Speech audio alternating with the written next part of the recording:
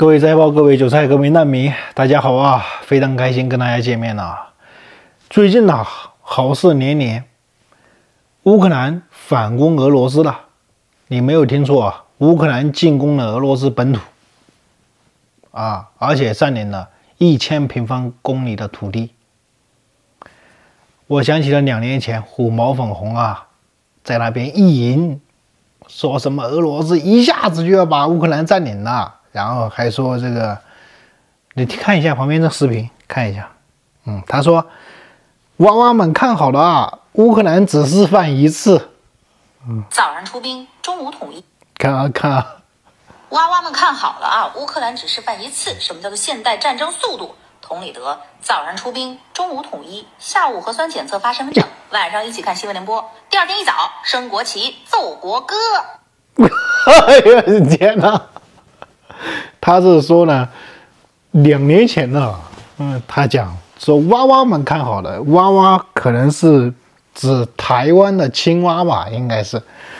然后呃，嗯，然后他就讲，意思就是说俄罗斯迅速就会摆平乌克兰。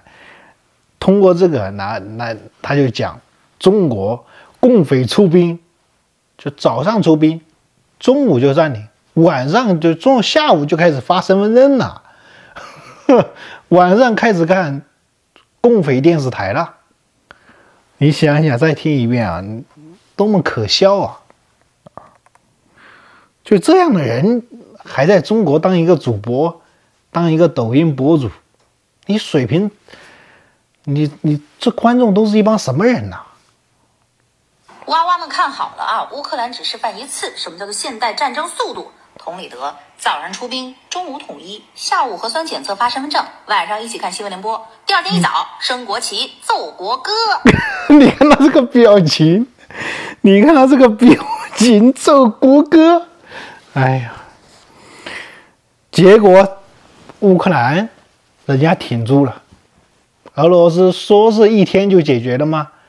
打了两年，两年打完了。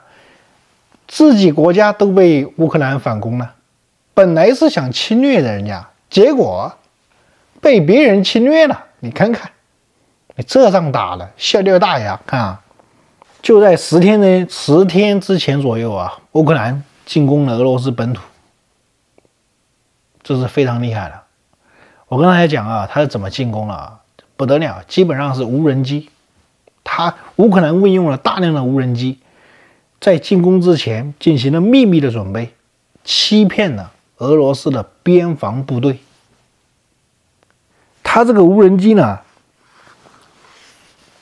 先是它是大量的廉价的无人机飞出去，把关键的桥梁据点炸毁，这个无人机就不让它回来了。然后乌克兰地面部队开始。进攻俄罗斯，这个时候不得有补给线嘛？因为他占领了俄罗斯一千平方公里的土地嘛，是有补给线。这补给线怎么补给啊？一般而言是陆路运输、卡车运输嘛？错。现在这个战争已经升级到无人机战争了。乌克兰连补给线都开始用无人机补给弹药啊、药品呐、食物啊。你想一想，然后美国当然是一条龙服务啊，美国肯定给他各种情报、各种指挥、各种这个安排吧。美国属于后面大老板嘛，乌克兰属于前面相当于呃在前台的。其实这个都大家都知道，这就属于代理人战争，对不对？这也没什么好好说的，就是俄罗斯你这拉胯。成啥了？你说啊？啊，这场战争呐，打没想到，有几个没想到。第一，没想到第一个进攻俄罗斯本土的国家呢，是乌克兰。第二，没想到这个泽连斯基啊，谈判呢，他说什么呢？他已经开出条件了，他要占领俄罗斯五个州。因为呢，乌克兰有五个州被俄罗斯占领，这俄罗斯侵略人家不想走，乌克兰就说我要占领你的五个州，然后交换。啊，这是没想到。第三，没想到俄罗斯真的把乌克兰放进去几十公里，你看看，没想到。这真的就深入俄罗斯的腹地啊！这离他首都莫斯科只有四百多公里的。这要是再猛一点，那都要打进莫斯科了，这得了了啊！火箭弹都能火箭，我海马斯火箭弹，我估计能打个三百公里。你看看，你是没想到，号称迪奥军事强国，有几千枚核武器。的国家了，结果被乌克兰打成这样，哎，当然乌克兰背后是有美军了，这想都不用想，是有美国，对不对？这更加反映了美国的强大的军事能力，美国全球作战能力，对不对？你就说美国，我说过什么话？全世界跟美国打都打不过美国，很多人不相信。美国一家十几艘航空母舰，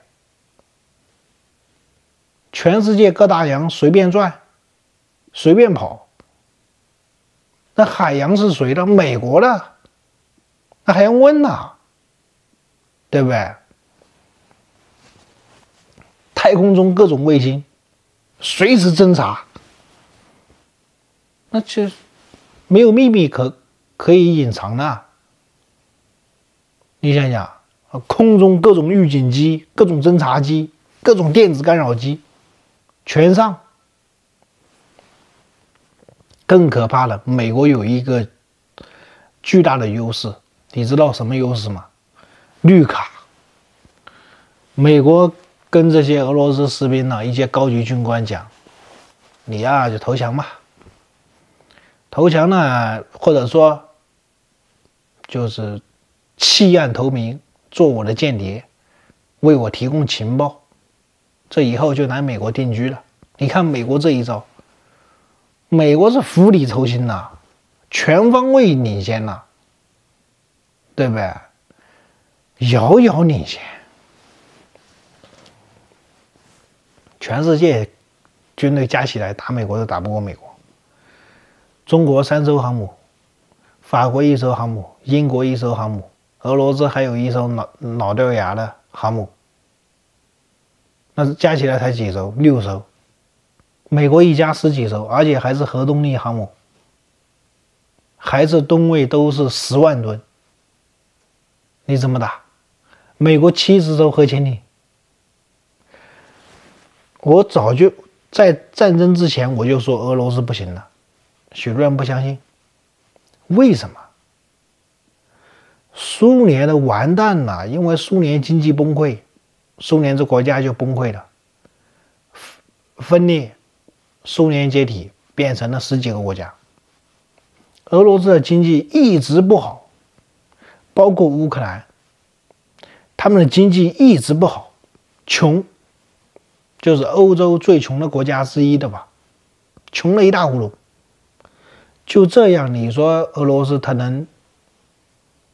发展什么武器啊？搞武器，这些研究全是要花钱的。搞军队没有钱怎么搞啊？美国一艘航母一百多亿美元，一艘核潜艇便宜的三十几亿美元，贵的一百多亿美元。俄罗斯一年的军费在战争之前只有六百亿美元，他还要维持庞大的核武核武库。五六千枚核武器，这些核武器那都是拖垮他，就是拖垮他的这个吞金兽啊！你想一想，你这么多核武器你也不敢用啊，但是这些核武器造出来了，你是需要维护的，就这么一点钱，俄罗斯国家领土又那么大，哎呀，国家又贪污腐败，寡头。这国家经济就是寡头，寡头垄断，然后赚了钱发财了，到欧洲买游艇。你看俄罗斯的军舰破不拉几的，整个都这样。就这你还打，对不对？你还打什么仗啊你呀？我现在啊一想啊，这个是天赐良机。现在俄罗斯彻底不行了，那被迫倒向共匪，倒向中国。我说共匪呀，你现在应该是站在道德的制高点，啊，现在立刻宣布，我跟乌克兰人民站在一起，反抗侵略者，对不对？那怎么解决这个问题呢？怎么站在乌克兰人民一边呢？挥师北上，直接进攻西伯利亚。你想想，对不对？就直接把俄罗斯瓜分了。跟美国一商量，打个电话跟美国说，直接就瓜分就完了。你想一想，大好机会呀！老毛子，俄罗斯啊，抢了中国多少领土？外东北一百多万，外西北四十几万，蒙古也说被他抢了，一百五十几万。你想想，那这些五毛粉红天天在那喊要统一台湾，统一台湾，你统一外蒙古，统一外西北，统一西伯利亚，你就统一吧。你统一台湾干什么？你有病了你呀！台湾才三点六万平方公里，妈的，这外外东北这么好的地方，给俄罗斯给占了！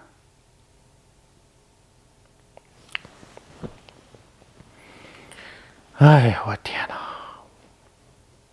包子，你这你还统一啥台湾呐？我都建议你了。直接北上，把西伯利亚给干了，不就完了吗？啊，这中国史书上以后也能把你的名字写进去了。你要不然的话，中国的历史书上还怎么写你呀？写你什么扛二百斤麦子走十里山路不换肩？那完了，那太丢人了，是不是？嗯站在历史和人民一边，真的，站在正义一边。更重要的，站在美国这一边，跟美国站在一边，对不对？你他妈跟美国干干什么？你有病的你呀！病的不行。哎呀，大好机会！现在共匪，我真的是不知道他咋想的。哎。当然，他可能觉得俄罗斯完了，下一个就他了。快了，快了，共匪就是放心吧，各位啊，我跟各位讲啊，韭菜要乐观呐，要乐观。共产党我看的情况啊，快完了，就算他能撑个十年八年，他也撑不了。我估计他也撑不了二十年、三十年了，快了，习近平嘛，好吧，嗯，拜拜，快了，快了，快完了！